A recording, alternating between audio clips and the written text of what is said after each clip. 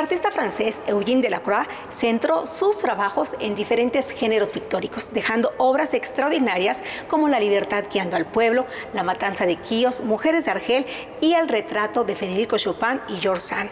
Eugene Delacroix dijo una interesante frase que hoy comparto con ustedes. La música es la voluptuosidad de la imaginación. Soy Mariana Domínguez y desde este auditorio de la Reforma le doy la bienvenida a este programa especial donde en breve estará tocando la Orquesta Sinfónica del Estado de Puebla. Bienvenidos. Es un gusto tener en entrevista al maestro David Hernández Bretón, director titular de la Orquesta Sinfónica del Estado de Puebla. Maestro, bienvenido, ¿cómo está? Muy contento, muchas gracias por, eh, darnos este espacio y muy contentos de trabajar con SET Televisión eh, eh, y reintegrarnos a la vida cultural de nuestro querido Estado. Y del país también, porque también llegamos, llegamos al resto del país a través del streaming. Así es. Maestro, este concierto inicia con una obertura, como ya se hizo costumbre, y ha elegido una obertura muy interesante de Rossini, que es la escala de seda o la escalera de seda, que es una farsa cómica. Y la farsa cómica, que es un género operístico, tiene características muy especiales que me gustaría que compartiera con nuestro auditorio. Es, este, mucha de la, de la obra de Rossini es, este, son argumentos eh, de, ópera bufa, que se llama ópera bufa o ópera cómica también. Eh, inclusive hubo, hubo este, se, crearon muchos teatros en el siglo XIX especializados en lo que es la, ópera bufa. Eh, por ejemplo, en Berlín está la Komische Oper, que todavía, todavía sigue este, abierta. Y, en, París también hubo, una casa de ópera eh, destinada para la ópera cómica, precisamente también por la, por, porque Joaquino Rossini pasa muchos años de su vida en París, de hecho él muere en París, después ya se le lleva a Parma, este, ya eh, eh, post-mortem, pero, pero Rossini vive en París gran parte de su vida. Y es un compositor genial. Él, él, se, enfocó mucho, mucho a la a la ópera cómica. Y quiero que el público sepa que en aquel entonces, en las, en las principales ciudades europeas, la ópera era como el cine. Eh, eh, y para la gente ir a la ópera era como ir al cine o como ver una telenovela. Eh, o, como ir a ver una película de acción de esas de Jason Bourne o, una película, no sé, de Eugenio Derbez, ¿no? en aquel entonces la ópera precisamente era, era, era un espectáculo popular era un espectáculo eh, eh, muy lúdico. Y de encuentro también, porque ahí la gente se encuentran los enamorados, se cierran negocios, este, se va a hacer vida social a la ópera. Así es. Entonces la, ópera, la ópera tomó varias vertientes, o sea, la, ópera, la ópera dramática, la ópera cómica, la ópera bufa. Y, este, y encontramos, en, sobre todo en los, digamos, en los belcantistas, por ejemplo, como es este eh, Rossini, eh, lo que es la urraca ladrona, sí, como su nombre lo dice, sabes, es un, pájaro que se robaba cubiertos, que en realidad es una historia trágica, te voy a decir. La, la, urraca ladrona originalmente es, este, bueno, el argumento es una sirvienta, ¿sí? que en la ópera de Rossini termina, termina, tiene un final feliz pero este, había una urraca que se metía y se robaba la, cuchillería de plata, ¿sí? Y después le echan la culpa a la sirvienta, pero finalmente la sirvienta acaba casada con el, con el galán de la casa. Pero, pero la, historia original es cierta y fue en la ciudad de Massy, muy cerca de París. Eh, eh, efectivamente la, urraca llegaba y se robaba, se robaba, se los cubiertos. Y la chica, la, sirvienta, fue acusada de robo y fue decapitada. O sea, fue, eh, eh, sufrió un, castigo extremo, ¿sí? Fue una historia trágica. Pero, pero después Rossini, bueno, la, toma, se hace un libro, la, toma y la convierte en una, en una ópera, en una ópera cómica, este, una historia agradable. Con un feliz que se merecía esta chica. Con un final feliz, pero la, historia original es trágica. Claro. Entonces, este, bueno, y la, escalera de seda pues no, no deja de, ser genial, porque aparte Rossini era, era un compositor genial. Eh, eh, ahí, por ejemplo, el Barbero de Sevilla lo termina en 15 días con la presión de los empresarios que ya querían este, ver la obra, él 15 días antes no la tenía escrita, no tenía, nada más tenía algunos esbozos. Entonces se pone en, dos semanas a escribir, escribe una ópera completa en dos semanas, pone a sus asistentes a, copiar partichelas y la ópera se estrena en tiempo. Era una de las características de Rossini, era un compositor genial genial dicen algunos que con la que con la genialidad y la y la y la facilidad de escritura inclusive comparado con Mozart. ¿sí?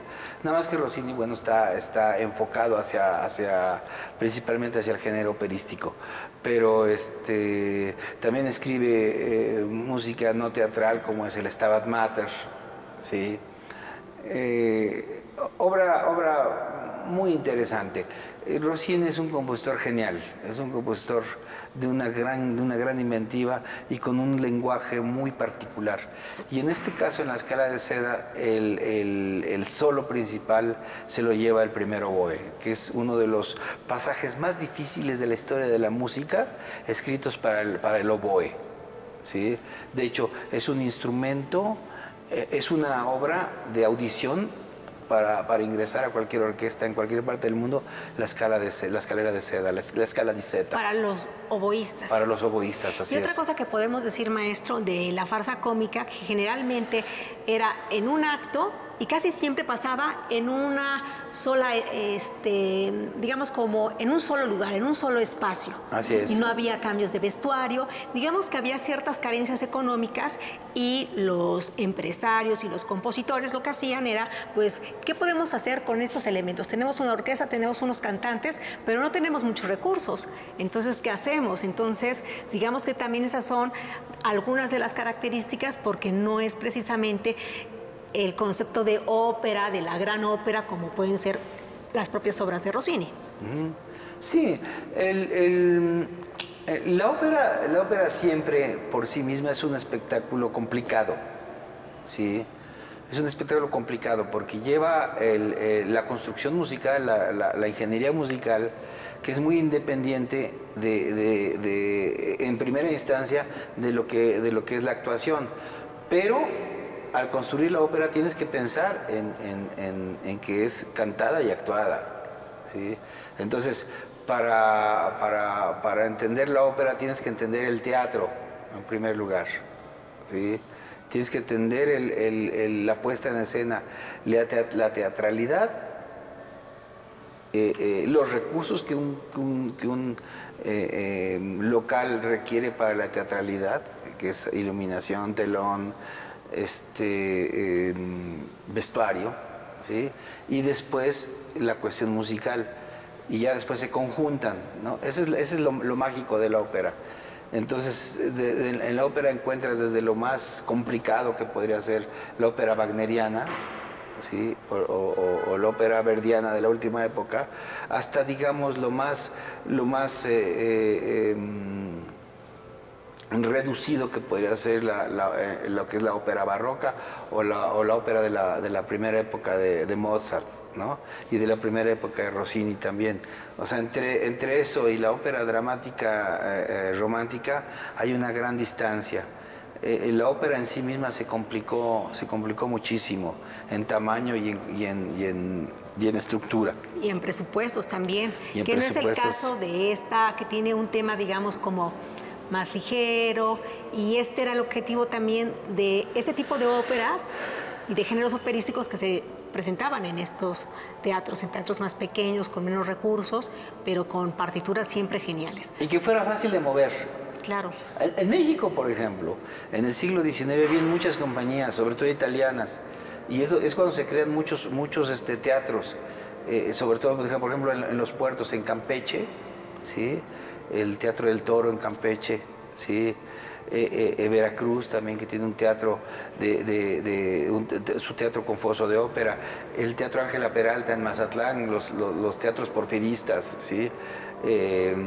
hubo muchísima, muchísima compañía de ópera.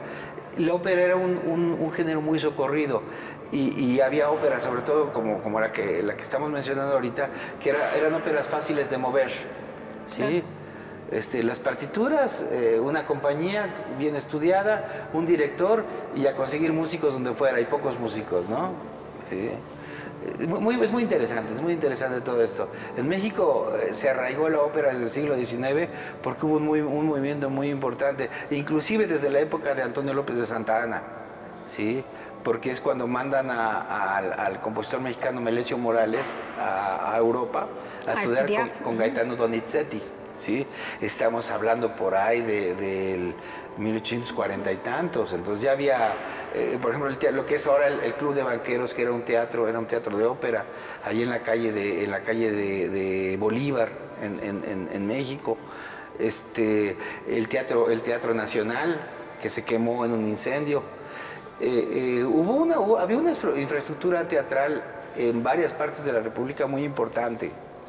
Y todos estos teatros que se construyeron eh, no es gratuito, por ejemplo, que, el Teatro Peón Contreras, el Teatro del Toro en Campeche, ¿sí? el teatro, este, ahí no me acuerdo el, nombre del teatro en Veracruz, que es un teatro pequeño, eh, eh, no es gratuito que estuvieran en Puerto, ¿sí? porque pues obviamente era la entrada natural desde Europa. ¿sí? Y, ahí, se, ahí se instalaron los, los, los, teatros en todo lo que es la costa. En Tampico también había un teatro. ¿sí? De hecho, se dice que en Tampico, en una, epidemia de cólera, muere la Sontag, que es una, era una cantante eh, muy importante que fue que estrenó la novena sinfonía de Beethoven. Y que además estrena el himno nacional. Exactamente, y muere en Tampico en una epidemia de cólera. Porque había un gran gusto por la ópera en, en México, en toda América seguramente, y pues siempre este género que nos encanta porque de alguna u otra forma nos representa. Pero ¿qué le parece, maestro, si vamos a escucharla? Vamos a escuchar la escala de Z y después escuchamos Mozart, la Sinfonía 39. Sí, pero por lo pronto, si le parece, vamos a escuchar pues esta abertura, la abertura de Rossini, que es la escalera de seda, una partitura genial que va a ser interpretada por la Orquesta Sinfónica del Estado de Puebla bajo la dirección del maestro David Hernández Bretón.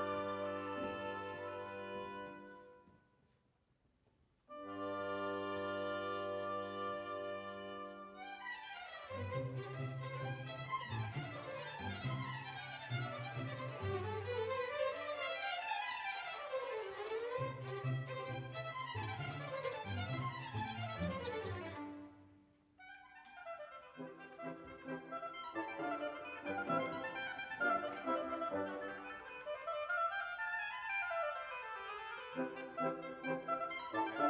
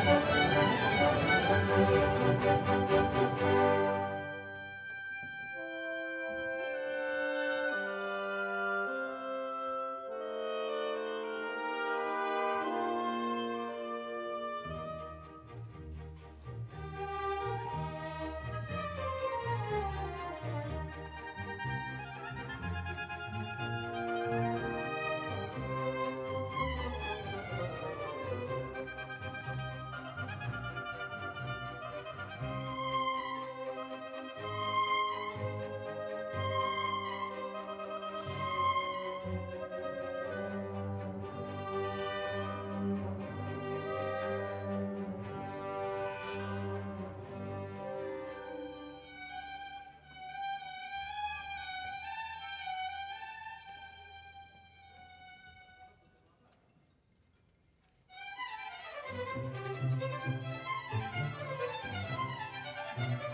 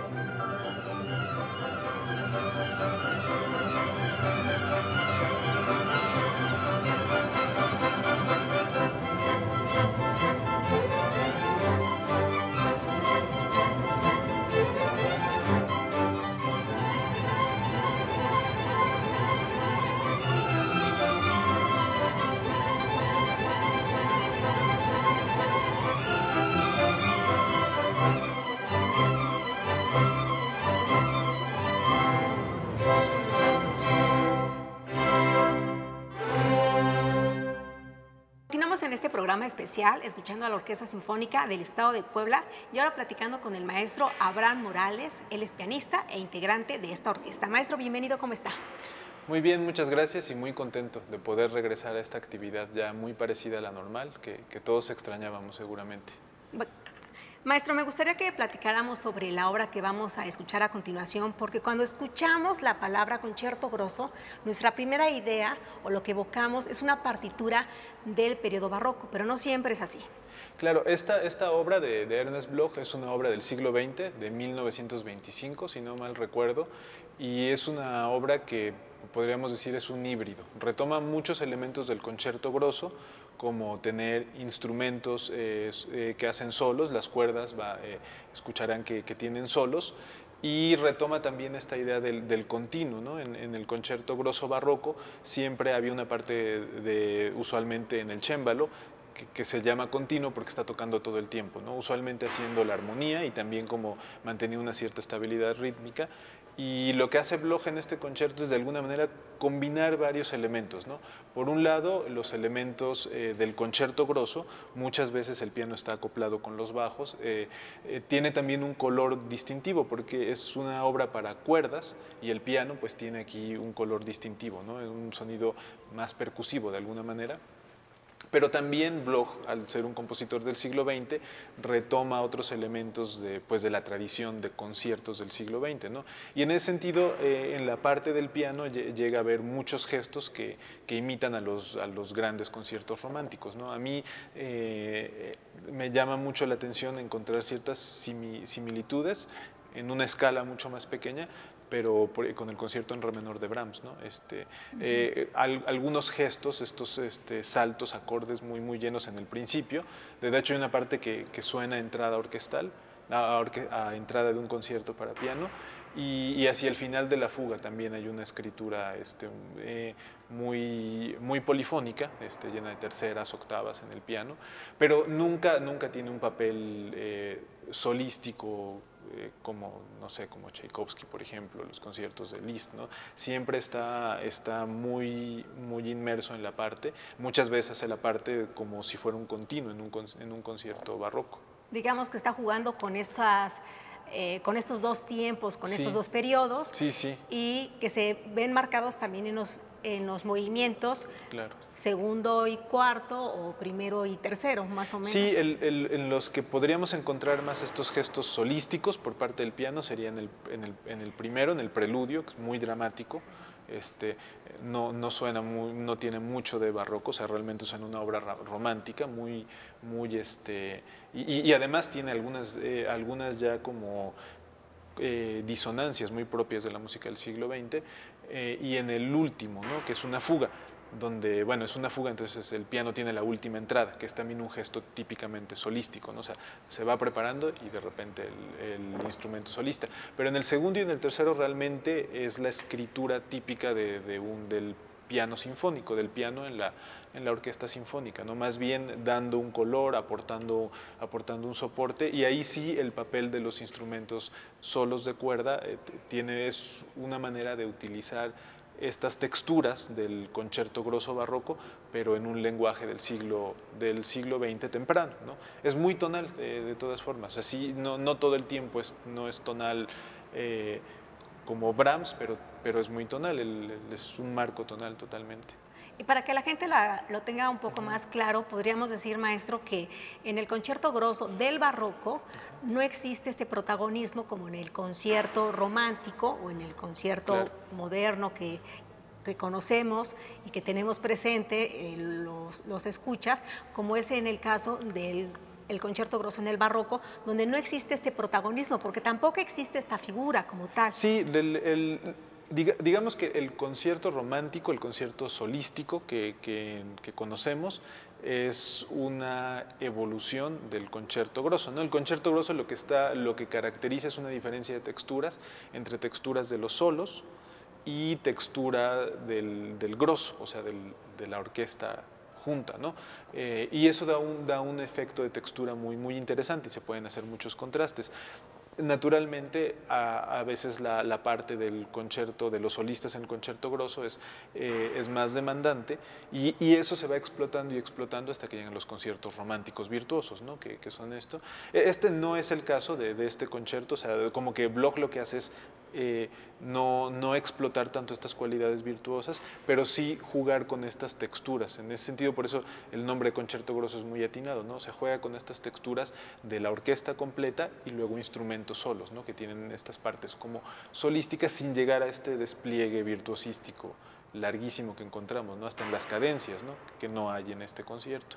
Claro, propias del siglo XX. Así es. Maestro, pues un gusto, un placer haber platicado con usted, que además esta información siempre nos ayuda mucho para escuchar y, por supuesto, disfrutar la música. No, pues que, lo disfruten y muchas, al contrario, gracias y pues, eh, aunque sea de manera virtual, pero, pero se agradece mucho al público, siempre es algo muy motivante. Muchas gracias, maestro. Gracias. Agradecemos al maestro Abraham Morales, pianista, integrante de esta orquesta sinfónica. Pues vamos a escuchar este concierto grosso número uno del compositor suizo Ernest Bloch. Esta partitura que, como bien apuntó el maestro Abraham Morales, escribe en 1925 cuando era el director del Instituto de Música de Cleveland. Está, por supuesto, la Orquesta Sinfónica del Estado de Puebla bajo la dirección del maestro David Hernández Bretón.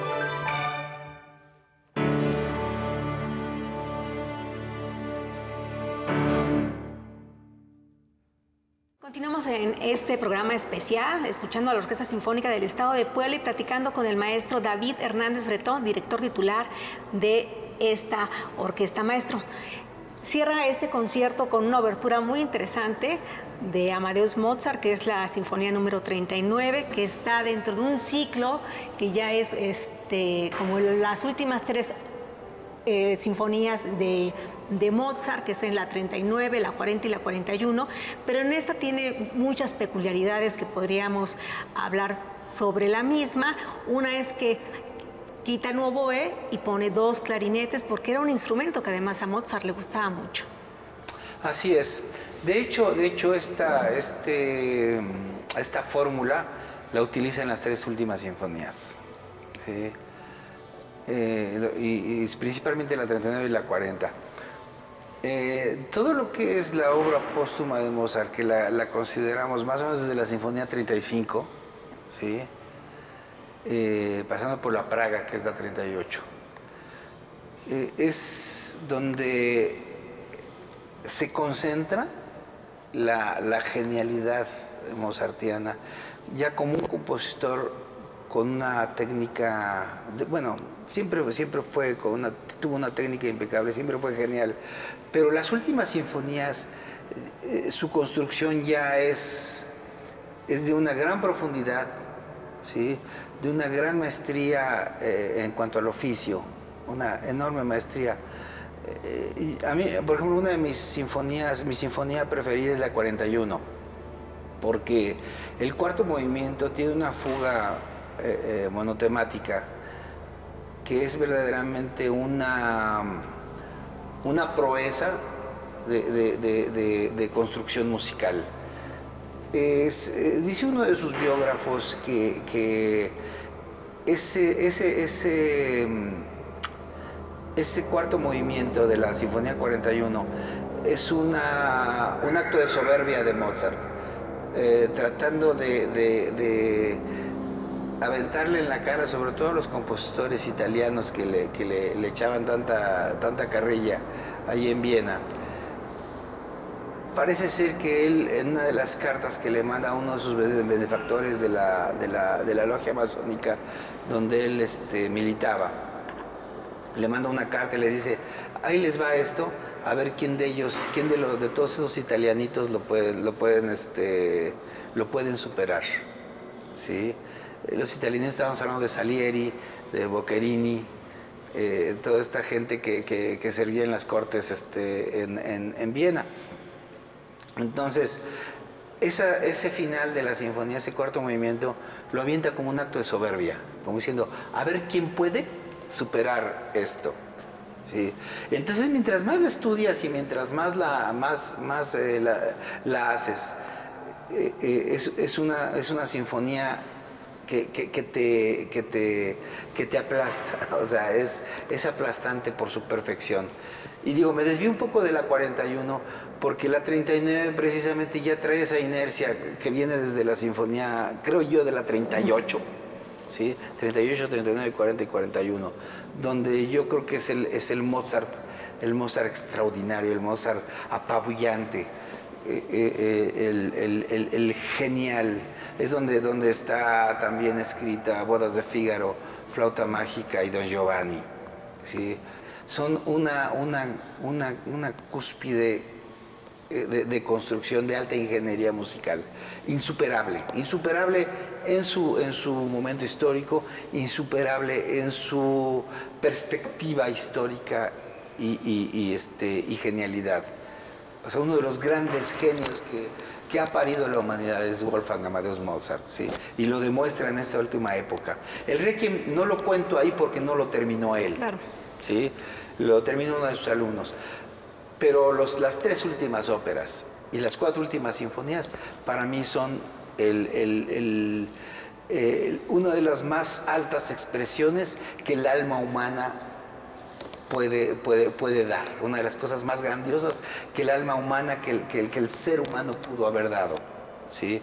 Por eso es que le debemos tanto a Mozart, porque él redime muchísimos de los pecados de la humanidad con, con esa, con, esa, con esa genialidad y grandilocuencia.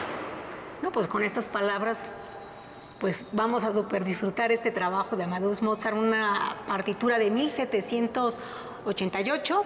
Así y que además se escribe junto con las otras. O sea, es un año de mucho trabajo. Así es, tres años antes de morir. Sí, exactamente. Entonces está componiendo, componiendo, componiendo y no te explicas de dónde sale tantas ideas y dónde tiene tanta inspiración y debe haber sido un desgaste, pues, eh, físico también y mental estar componiendo tantas cosas tan extraordinarias. El, segundo movimiento de la sinfonía es, eh, tiene, tiene temas, un tema que es muy parecido a los temas de Don Giovanni, ¿sí?